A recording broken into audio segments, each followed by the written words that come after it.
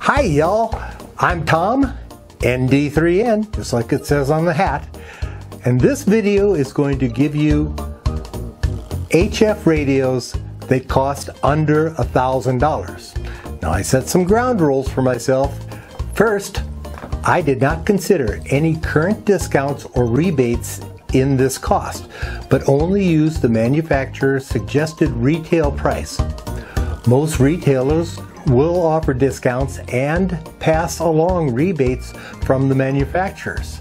This means that there is a good possibility that, for example, a radio with an MSRP of a bit over a thousand will actually cost less than a thousand once you figure in those uh, discounts and rebates. Now do your own shopping around and find your best deal. The next rule I set for myself was that the manufacturer had to have a good history. Yes, there are other manufacturers out there who are selling HF radios. However, they've not been in the business of ham radio very long compared to other manufacturers. And they just don't have a track record to be able to compare reliability capability, and engineering. So they didn't make my list. Sorry about that, but please feel free to add your comments to the video description below and let us know if you have one of these radios that didn't make my list. Tell us what you think of it. My final ground rule is that I did not include any accessories like power supplies, external sound cards, or keyers. Uh, these will be an extra cost, but you'll need to consider in your research. I did mention for each radio covered what the power requirement was and whether or not they had an internal key or an internal sound card.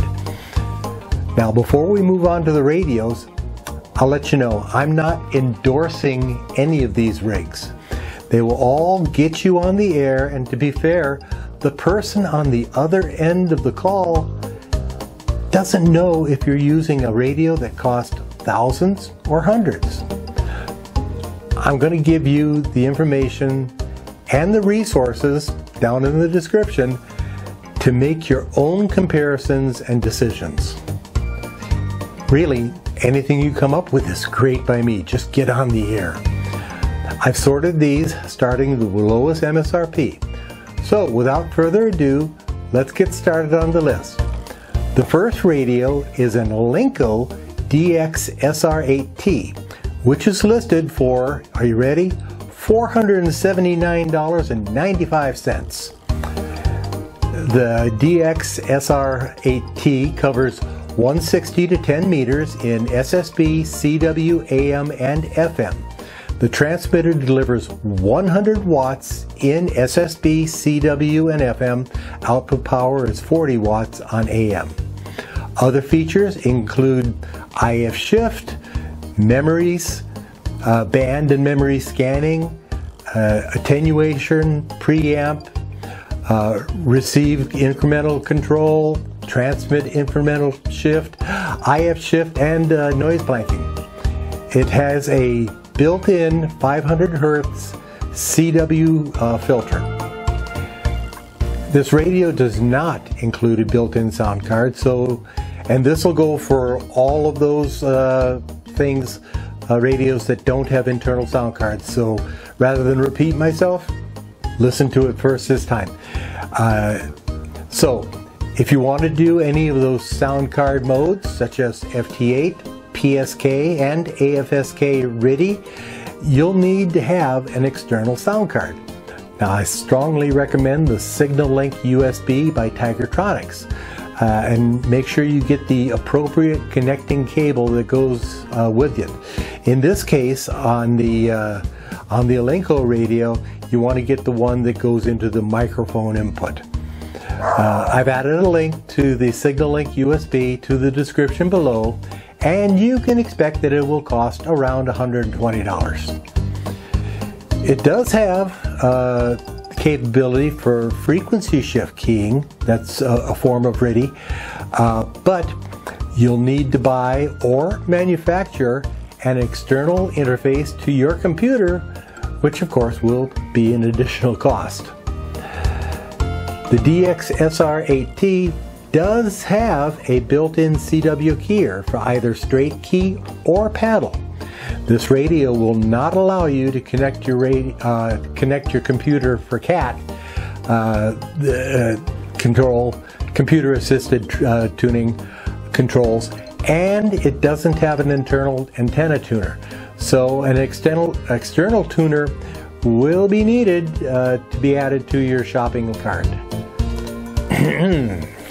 This rig draws a maximum of 20 amps in current, so you'll need a power supply rated at at least 25 amps. Uh, I've got a video titled "How to Pick Up uh, Your Pick Your Power Supply," which I will link in the video description.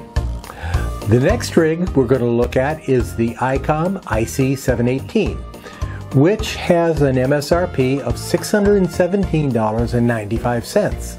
It's funny how all of these end in 95 cents. Uh, the IC718 transmits on all HF bands from 160 to 10 with an output power between 2 and 100 watts on SSB, CW, and RTTY. On AM, the output power is between 2 and 35 watts. It has a front-facing speaker, DSP noise reduction, automatic notch filter, IF shift, microphone compression, and Vox. It does not have a built-in antenna tuner or a built-in sound card, so you'll need external devices if you want to use sound card modes or tune your antenna from your shack. The radio will do FSK RTTY, as mentioned above, but it will require an external interface between the computer and the radio. You can do computer control or CAT with this rig using ICOM's proprietary CI-V interface. That's also an additional cost.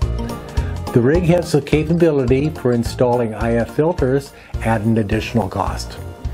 Uh, it does have a built-in CW keyer and a max current draw of 20 amps, which will require uh, a power supply rated at a minimum of 25 amps. Now we introduce the AT, uh, Yaesu FT891, which has a list price of $639.95. The frequency range is from 160 to 10 meters plus coverage of the 6 meter band as well. It transmits using SSB, CW, FM, and AM with an output power on SSB and FM uh, from adjustable from 5 to 100 watts and an AM output power of 5 to 25 watts. It does not have an internal sound card, but it does have an internal CW keyer. The radio was designed to be used in a mobile environment, but it could easily be used in your shack. It has uh, multiple DSP, and by the way, that's digital signal processing capabilities, including uh, uh, shift, notch filtering, and so on.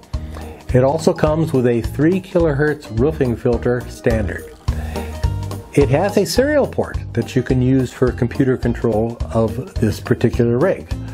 The maximum current draw is 23 amps, so I would recommend a power supply rated at 30 for this one. Uh, the Yaesu FT818ND has an MSRP of $649.95. Now this is a QRP radio meant for low power transmissions. It transmits on the 160 through 10 meter bands, plus 6 meters, 2 meters, and the 70 centimeter band. Output power is 6 watts for SSB, CW, and FM modes, and 2 watts for AM. It has an internal CW keyer, but does not have an internal antenna tuner. Neither does it have an internal sound card. However, external devices can be purchased at an additional cost. The maximum current draw is 2.7 amps and is intended to be used with the provided battery pack. However, it can be plugged into a power supply with the optional DC cable, also additional cost, but it's the pretty much the same cable used by most Yaesu handhelds. Moving on, we have an American manufacturer. Uh, Elecraft has the KX2. Now this is a very small rig, but it is feature packed. It'll run you $899.95. The radio transmits on 80 through 10 meters with an output power of on 80 through 15 at 12 watts and 12 and 10 meters at 8 watts. It has a 32-bit DSP uh, which uh, provides user programmable filter bandwidths, noise blanking, noise reduction, and auto notch. It operates in SSB, CW, FM, AM, and data modes. RTTY and PSK data modes are built in, so there's no PC needed, as well as a memory keyer and digital voice recorder for transmit. It has an internal log where you can log CW and data contacts and download it, those to a computer later on. It does have a built-in antenna tuner that they advertise as being able to tune up to a 20 to 1 mis mismatch. That's impressive. Uh, now, this is a specialty rig that is meant for hams who enjoy remote operations.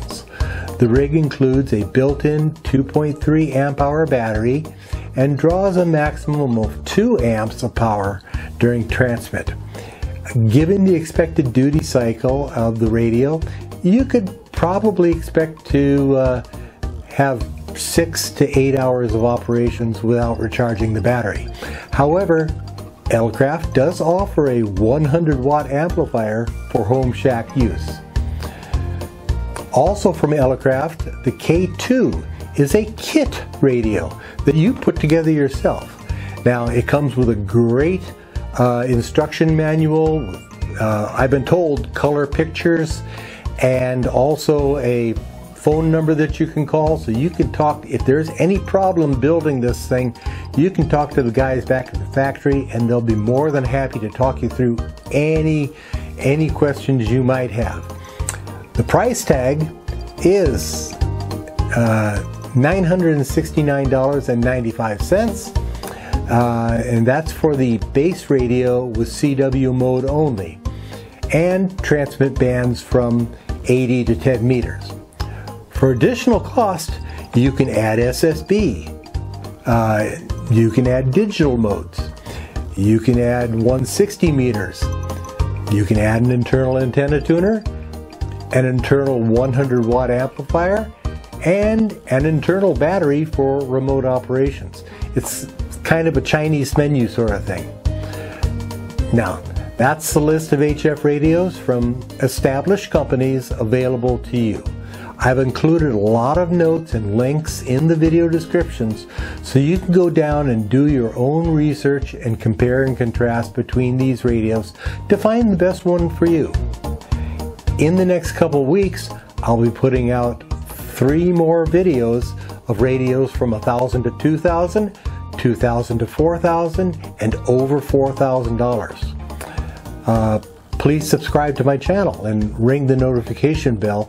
Be, you'll be one of the first to see when these videos are published and to be able to see all of my videos in one convenient spot.